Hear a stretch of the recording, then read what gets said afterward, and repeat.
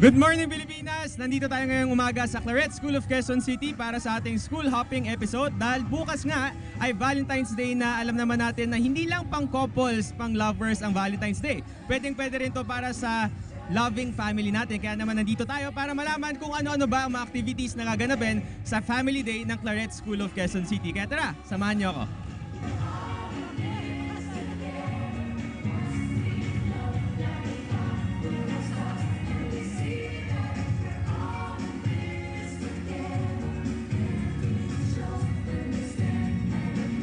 Ah, since tomorrow ay Valentine's Day na, idikit naman po natin paano pa natin madidikit yung Valentine's Day sa pagmamahal ng mga parents sa mga anak nila.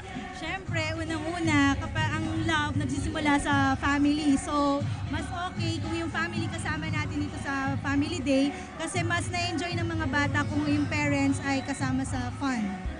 Ma'am, eh, yung usual naman po sa mga educational institution, di ba talagang partnership po yung parents, pati yung teachers, pati yung mga students.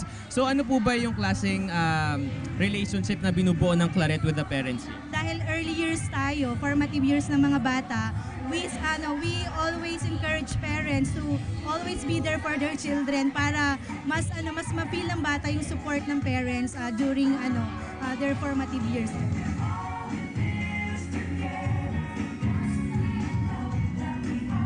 Yung mga ina-expect nyo na magiging uh, relationship nyo with the students, with the school administrators, with the teachers? Well, number one sa students, yung students tuwang-tuwa pag nakikita yung parents na nasa school. Ah, tuwang-tuwa, they, they, ano, meron silang parang feeling of proudness. At tuwang-tuwa sila nakita yung parents na, na active sa school.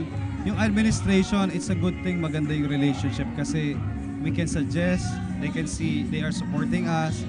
Tapos nakita namin anong maganda para sa Clarence. Really, like yung theme nga namin, strengthening the Claretian family, nakikita talaga yung bondness, nagiging cohesive, talagang yung relationship masyado nagiging tightened.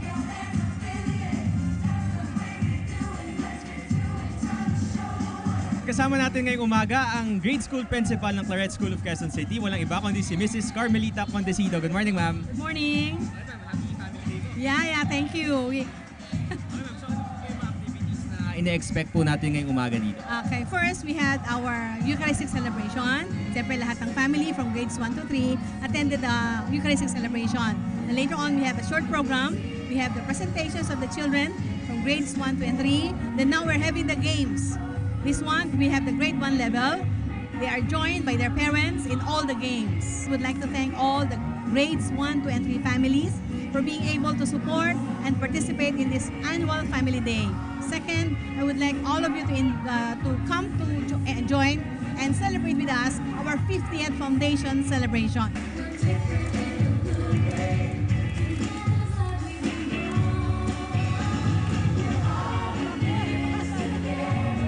Alright, ayan, nakita na natin kung gaano kasayang naganap na Family Day dito sa Claret School of Quezon City. At syempre, abangan din natin ang 50th year Golden Anniversary ng Claret School. Kaya naman muli ako po si Jules G ang para sa Good Morning Pilipinas!